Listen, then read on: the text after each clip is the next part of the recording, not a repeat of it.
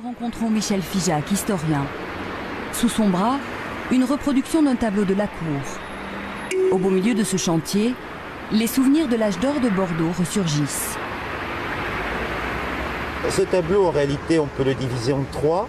Nous avons le fleuve, avec un trafic euh, relativement important. On distingue euh, un certain nombre de, frégates, un certain nombre de bateaux à gros tonnage. Euh, sur la rivière, on voit également toutes les gabarres qui déchargent ces gros bateaux.